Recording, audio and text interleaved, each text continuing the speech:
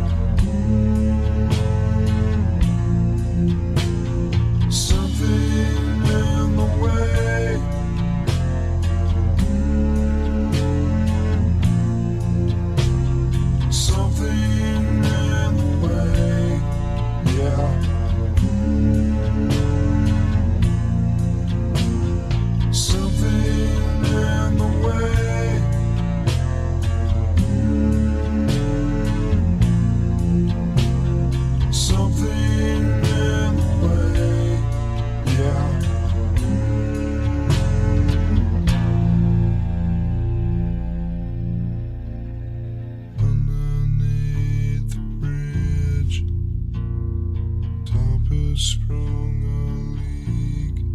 And the animals I've tried.